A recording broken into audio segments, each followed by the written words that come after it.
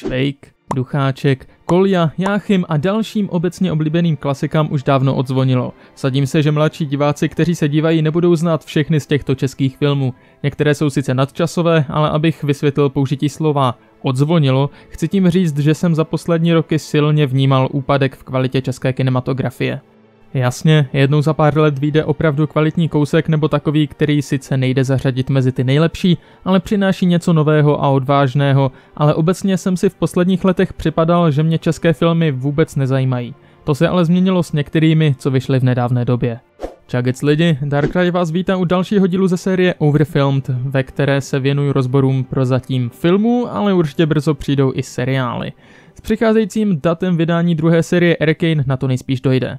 Ale dneska se podíváme spíš do našich zemí, než na zahraniční tvorbu. Jak jsem už říkal v úvodu, osobně jsem měl dlouhé roky pocit, že česká tvorba se zasekla jen na podprůměrných nekonečných seriálech nebo ohraných kriminálkách, které vykrádají jedna druhou. Možná je to jenom můj problém, protože fakt nemůžu vystát moderní české kriminálky, ale celkově mi dlouho chyběl takový ten moderní dotek staré dobré české kvality, kterou jsem vnímal u starších kousků. Přeci jen český humor ve filmech je perfektní a drama umí Češi taky skvěle vybudovat. Kam se potom poděli a proč mě absolutně žádné z trailerů a scének novějších filmů neoslovují a raději koukám na ten zahraniční odpad, na který průměrný český divák tak strašně plive? A teďka co řeknu, neberte úplně zle, berte to spíš jako nadsázku. Já si totiž obvykle dělávám srandu, že když má Čecháček rád babovřesky, že ani nemůžu očekávat, že si oblíbí zahraniční filmy. I přesto mám ale i troškovou tvorbu svým způsobem rád, je to prostě zajetý český mím, ale většinou stačí vidět jeden film a víte, o čem budou všechny ostatní. Jo, místy se mezi českými filmy objeví Bílá vrána, osobně se mi vizuálně líbila třeba Milada, ale herecky tomu něco chybělo. Pak po letech člověk zjistí, že ten český film, který kolem nás lidi opěvovali a na který jsme museli se školou do kina, protože měl být tak skvělý, obsadili v hlavních rolích zahraničními herci. On by to nebyl problém, i zahraniční herec může zahrát skvěle českou postavu, ale přijde mi, že máme dost kvalitních českých hereček, které by roli Milady skvěle zvládly a měly by k tomu i emocionální a vlastenecký vztah vztah. Jasně, chápu, je potřeba dodržet i jakousi podobu člověka, ale podoba je mi ukradená, když je zbytek provedení dobrý. S Miladou, respektive chvilku před ní, přišel Masaryk, ale zmiňuji ho až po ní, protože ten rozdíl v kvalitě byl znatelný. Potom Zátopek, přicházely další filmy a já si začal říkat, to jsme dobří jenom v historických filmech z poválečného období? Už to vypadalo jako jakési české prokletí, nechápal jsem. Pod hromadou zahraničních filmů najdete podepsané perfektní české zvukaře, kameramany a další lidi. Takže lidi by byli, ale někde vazl ten výkop, který by vybočil ze zajetých kolejí, které nechtěl kvůli naší extrémně kritické povaze nikdo opustit. A teď si možná budete říkat, že jsem se zbláznil, někteří možná nebudete souhlasit, ale v roce 2022 přišel Jan Žižka z režie Petra Jákla. A i když nebyl historicky přesný, i když byl místy přitažený za vlasy, i když na něj půlka lidí nadávala, druhé půlce to bylo jedno a třetí půlka ho totálně milovala, mně nedávalo smysl, podobně jako právě uvedené počty, že by Češi po všem, co jsem za poslední roky viděl, dokázali konečně udělat něco odvážného, co nevypadalo jako totální odpad a z čeho ani vyloženě nebolela hlava, oči, uši ani nic jiného na těle. Tam, kde někteří viděli naprosté selhání té klasické české tvorby, jsem viděl potenciál a důkaz toho, že jsme schopni se vyrovnat mezinárodní tvorbě. Herecké osazenstvo v čele s Benem Fosterem, Michaelem Kanem, mým oblíbeným a i naším taktéž mým velmi oblíbeným Karlem Rodenem, prostě to bylo jiné než u Milady. Emoce byly cítit, někteří sice nadávali na míru brutality, ale pardon, kvalitní středověký film o příběhu bývalého Lapky a Žoldáka, který se stal vedoucí postavou husických válek, se prostě neobejde bez krve a brutálních scén. A nebýt jich, možná by mě ten film ani tolik nebavil. Bojové scény byly zajímavé, chytlavé a skvěle provedené. Tam, kde vidíte v celé mezinárodní tvorbě natáhlé duely na několik minut, tam se se prostě Žižka vypořádal s borcem ufiknutím kotníku a pak už ho jenom stačilo dodělat palcátem na zemi. A že jste jako diváci taky cítili každý úder palcátu. Jak říkám, nebyl perfektní a ani si sám na sebe nevydělal, ale velice mě potěšil a bavil a právě díky jeho provedení mi ani nevadilo zahraniční obsazení postav, které se navíc perfektně hodilo. Pak přišel minulý rok a s ním bod obnovy. Není možná další odvážný krok hned rok po tom minulém. Kde se to bralo? Teď jenom taková odbočka z mého rentu. Všichni bod obnovy uvádí jako úžasné sci-fi, ale pro mě je to spíš další kriminálka, která je akorát ve sci-fi prostředí a je nesrovnatelně kvalitněji zpracovaná než jiné české kriminálky. I tak mi ale přijde, že by mělo být krimi před tagem sci-fi a tímhle tím končím tuhle tu nesmyslnou narážku.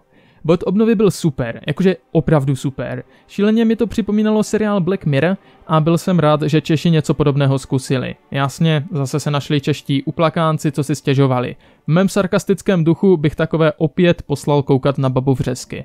Ale tenhle film měl prostě šťávu. Nepřišel mi tolik akční jako Žižka, ale příběh, byť silně inspirovaný jinými, byl osvěžující, zajímavý, malinko předvídatelný, ale tím dobrým způsobem. Skvělé hlášky a myšlenky, Andrea Mohilová zahrála skvěle a dokázala, že hlavní hrdinky mohou být kvalitně zpracované a nemusí vám z nich krvácet všechny otvory na těle, jak tomu je u jiných moderních filmů. Byla drsná, chladná, rozvážná. Bohužel, i když se na mezinárodní scéně dočkali relativně dobré odezvy, prostě jsme byli až příliš dlouho uzavření v naší české bublince a ani tento film mezinárodně neprorazil. Dokonce se mu dařilo hůř než Žižkovi, což bude hlavně tím, že jeho tahalo zmíněné obsazení. Otázkou je, jestli máme na to se prosadit i mezinárodně a já bych se nebál říct, že máme, jenom myslím, že nemám odpověď na tu otázku jak. Možná jen pílí a postupným bojem a dostáváním se do povědomí. Rozhodně mi nepřijde, že by to bylo tím profláklým tvrzením české filmy nikoho v zahraničí nezajímají. Spíš jsme asi jen nepřišli s ničím, co by bylo vytvořeno i pro jiné publikum a čím bychom mohli zahraniční diváky oslovit. A já teď využiju této chvilky. Vydechněte a mezi tím poděkuju všem mým členům a všem, kteří mě podporujete. Hlavně děkuji Signiferum, Ondrovi Horovi, Korpimu, Majkovi a Nirasovi. Tak, odpočatí Jdeme na finální film, který byl tak kulervoucí a jsem sám sobě vyčítal, že jsem na něho nešel dřív. Mimo tyto jedinečné projekty, které naprosto vybočily z řady, ale přišel letos film, který sice byl opět z té řady poválečných, historických, ale natolik vynikal, že zakryl všechny ostatní. Nevím, Absolutně nevím, jak to Mádl udělal, ale když jsem byl na filmu Vlny, neměl jsem původně velká očekávání. Nebýt přítelkyně, ani bych na něj asi nešel, i přes kvalitní recenze a doporučení od přátel. A jsem rád, že mě tam dotáhla. A rád je slabé slovo. Já ten film žral. Seděl jsem tam jak přikovaný a čekal, co se bude dít. Ten příběh je většině Čechů dobře známý. Všichni zhruba víme, co se stalo za okupace, jak došlo k rozvolnění a jak jsme dostali na několik let ještě víc přes hubu. Sám jsem v některých videích zmiňoval nebo naznačoval, o co přišla i má rodina a věřím, že to podobně měli skoro všichni, takže se s tím příběhem dokážeme zžít. Proto už jen námět zasáhl terč. Vždycky jsem od rodiny slýchal, jak poslouchali rádio. Bylo to jako znovu prožít ty historky a vyprávění, ale tak, že vám běhal mráz po zádech. Cítili jste emoce, kamera byla úplně perfektní, tolik akce a věrohodně vyobrazených událostí, ať už z protestů nebo mezi lidmi. Pokaždé, když padla rána, cítili jste to.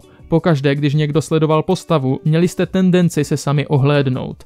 Já jsem člověk, který miluje šedé postavy, takové, které nejsou ani dobré, ani zlé, které dělají, co je nutné, nebo co sami potřebují, aby přežili, anebo aby oni byli těmi špatnými či oběťmi pro všechny okolo nich, aby se ti ostatní měli lépe. Toho jsem se dočkal i tady, vypočítavé postavy přesně jak byste to v té dané době čekali. Dnes máme tendenci říkat, ten člověk byl špatný a máme tu tendenci i odsuzovat.